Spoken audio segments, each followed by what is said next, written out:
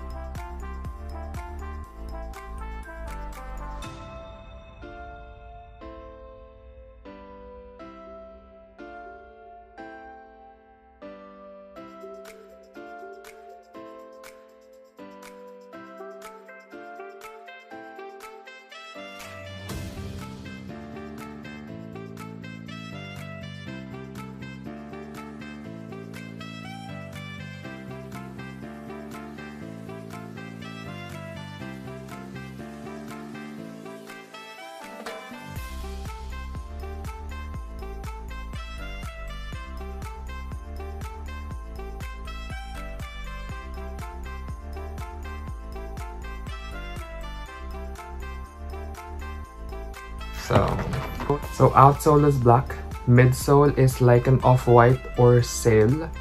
Um, toe box is synthetic leather. Nubuck for the side panels and synthetic leather. Nubuck swoosh. Sock liner is pink, quilted. Inside is, uh, insole would be black with pink Jumpman.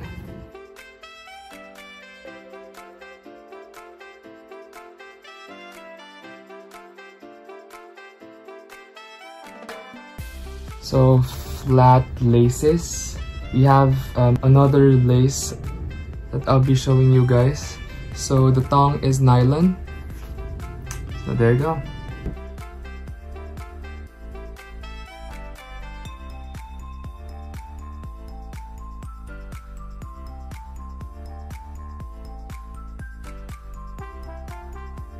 So I think this are reflective, so 3M this um, Air Jordan logo are painted.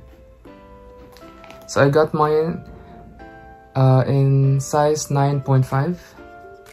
So again, off-white midsole, black outsole, synthetic toe box, nubuck side panels and nubuck swoosh.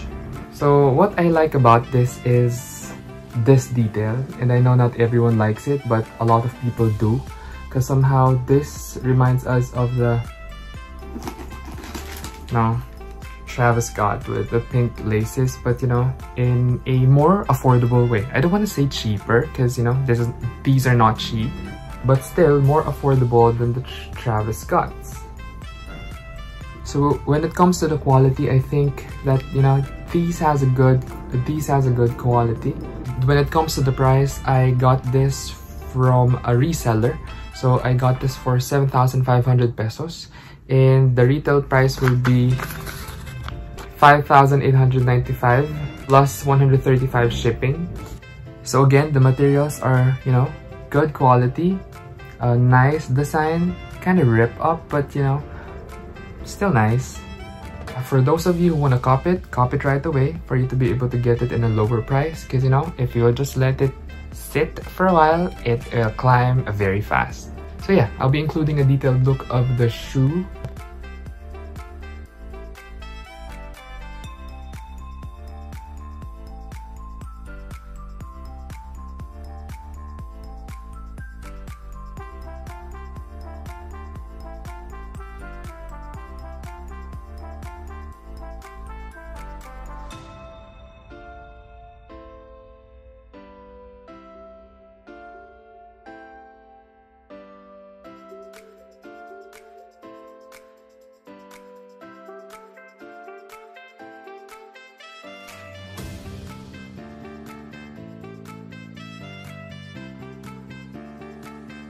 So that's it. Thank you very much for watching. I hope that you learned something. I hope that you enjoyed the video. Until next time, let's chill, talk, and more here on my virtual playground. Take care.